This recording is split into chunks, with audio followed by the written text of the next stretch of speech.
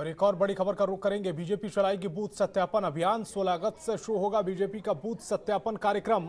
21 अगस्त तक ये सत्यापन अभियान चलाया जाएगा। हर बूथ पर 21 सदस्यीय समिति का गठन किया जाएगा। बूथ समिति के सदस्यों को पन्ना प्रमुखों की ज़िम्मेदारी सौंपी जाएगी। हर बूथ पर 15 से 20 पन्ना प्रमुख तैनात होंगे। एक पन्ना प्रमुख पर 60 मतदाताओं की ज़िम्मेदारी होगी। और अवनीश, मेरे सहयोगी लगातार लखनऊ से बने हुए हैं। अवनीश, बीजेपी लगातार 2022 की रणनीति बना रही है और ये रणनीति पन्ना प्रमुखों की ज़िम्मेदारी बूथ, जो बूथ लेवल पर अपना कार्यक्रम चलाकर जिस तरह से सौंपी जा रही है, इसको किस तरह से देख रहे हैं आप? जी बिल्कुल, भाजपा के जितने भी उच्च स्तरीय नेता हैं, उन्होंने अपनी बैठकों में साफ़ कर दिया है कि विधानसभा चुनाव में जीत का जो मूल मंत्र होगा वो बूथ होगा और पन्ना प्रमुख होगा। ऐसे में एक 16 अगस्त से पन्ना प्रमुखों की तैनाती शुरू कर दी जाएगी, बूथ का समितियों का गठन शुरू कर दिया जाएगा, उनका सत्यापन का कार्य शुरू किया जाएगा।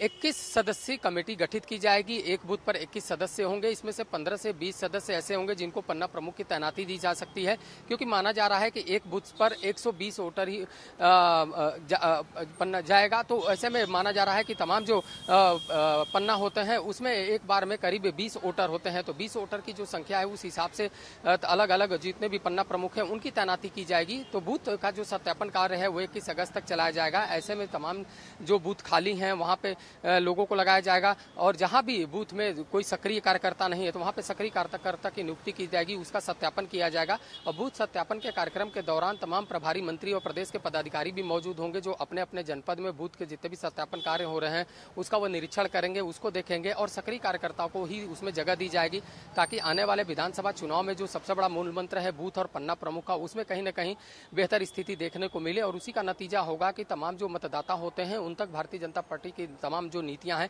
वो पहुंचेंगी और विधानसभा चुनाव के दौरान मतदाताओं को पहुँचाने की भी व्यवस्था भारतीय जनता पार्टी की तरफ़ से की जाएगी। ऐसे में बूथ पर तमाम बाइक सवार भी तैनात होंगे, जो बूथ के कार्यकर्ता ही होंगे और उन लोगों के ज़रिए मतदाताओं को पहुँचाया जाएगा। क्योंकि लोकसभा के चुनाव में देखा गया है कि पचास फ़ीसदी वोट भारतीय जनता पार्टी को मिली थी और उसमें उनको काफ़ी हद तक सफलता हासिल हुई थी। तो ऐसे में विधानसभा चुनाव में भी पचास फ़ीसदी से ज़्यादा वोट लेने के लिए भारतीय जनता पार्टी ने एक रणनीति भी बनाकर तैयार कर दी है।